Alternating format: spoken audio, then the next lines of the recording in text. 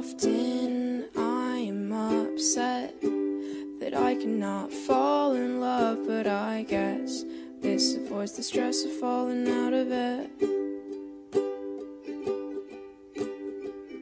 Are you tired of me yet? I'm a little sick right now, but I swear when I'm ready, I will fly us out of here.